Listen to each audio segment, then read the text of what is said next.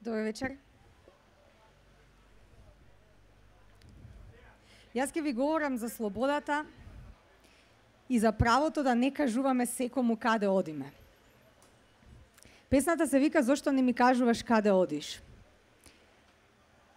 Зошто не ми кажуваш каде одиш? Јас одам таму патот кај ме води, чекорам ветрот кај ќе ме оддува и итам без побуна. Зошто не ми кажуваш каде одиш? Затоа што јас немам визија за европеизација, немам своја дестинација, ниту виза да преминам граница и знам присилно ќе ме симнат на некоја непозната станица. Зошто не ми кажуваш каде да одиш? Укурец патов што не се додува, чувствувам ко бебе кој туку што проодува еден чекор, два чекор, трет. И еве ме веќе во колона чекам ред да го земам бројот на својата лична карта и своето име и презиме за да може системот од мојот живот да направи резиме која сум, што сакам да правам и на каде се водам, а системот него интересира која во сушност сум јас. Се додека уште еден пиун за во шахот не им родам за да имам против кого да го одиграат матот. Шах, мат.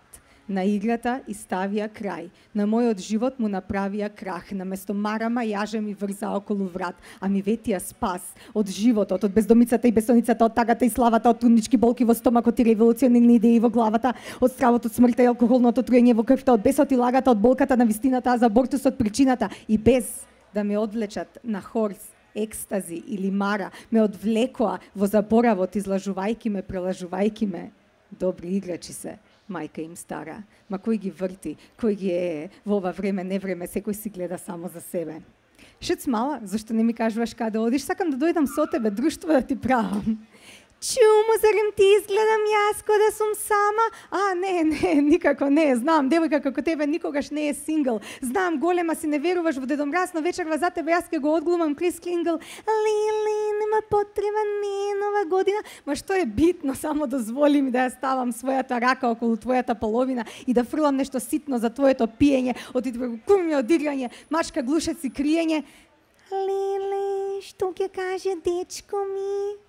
Дечко ти, дечко ти онаму, тој што стои со Гогов, што ја лапа женска ми, дечковци, мувачи, пуштачи. Сите се на цигари или на м, пушачи. Ма кој ги врти, кој ги е, во ова време, не време, секој си гледа само за себе. Зарем тебе ти е гајле за мене? Мислам, тебе, ти, во првиот ред, тебе гајле ти е за мене? Мислиш, мене гајле ми е за себе? Јас ќе дадам се од себе, за да ти земам се на тебе. Ќе ти земам и пари, и тело, и душа. Ќе ти наплатам и за вода, и за воздух, и за суша. Сакаш да си го паркираш во мене, нема проблем за ми душа, знам дека се сакаш, сакаш еднаш да си го внешал, повеќе не се враќаш. И не враќај се, не буди ме,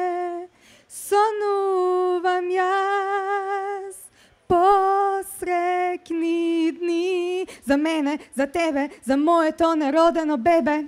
Молам, велиш сакаш да имаш со мене дете? Извини, ова е твојот еуфемизам дека сакаш да ме ме иде крши глава за тебе кондомот е луксуса, сексо, шала. Зарем на вистина мислиш дека ние жените ќе се клукаме со хормоналната таблета за да вие мажите си го подавате од една на друга како штафета?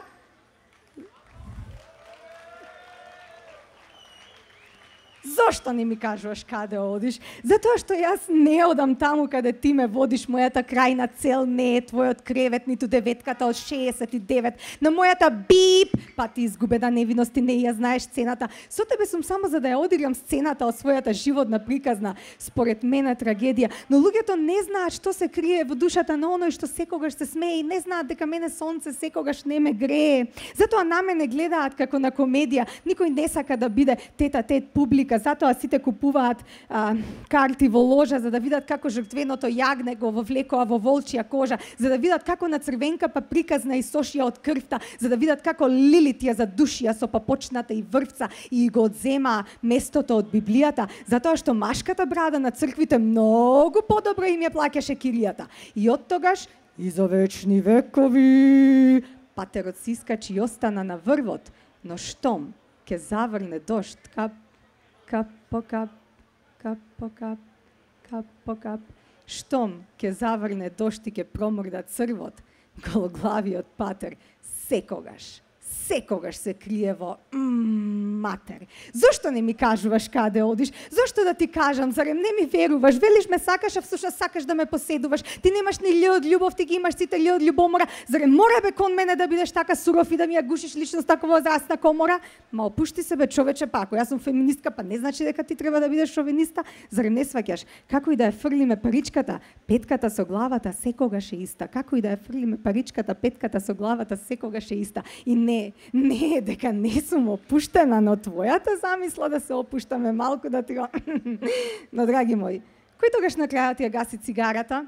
Знам, од мене победна ти е на куќата фасадата и јалатот во гаражата, но мене ми е за утеха.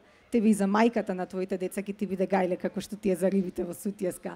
Зашто не ми кажуваш каде одиш? Дебре, жено, каде може да одам, одам во блеската така фана, да даде Господ нокива да ја преспиеш во апсана, место парите да ги потрошиш и кај таа курвата да заспиеш. Е, да знаев јас дека бракот е ваква гимназија, ќе запише факултет после гимназија и место бело да облече во село, ќе облече в црно свилено, ќе замине во метропола, таму ќе најде силна финансиска потвора, ќе се офарба в плава, ќе навлече фубава убава става и ке бев светица, ке лечев мажи од импотенција и комплекси бре ке си лечев што сум во провинција. Барем ке има фиднина. Овде се што имам е корупција и мито и минатото на Јоси Брос Тито и живеењето ми е ко протнување низ решето и сито на кој дупките се повеќе се стеснуваат, а деновите поминуваат, а јас живеам за да ме оплакуваат.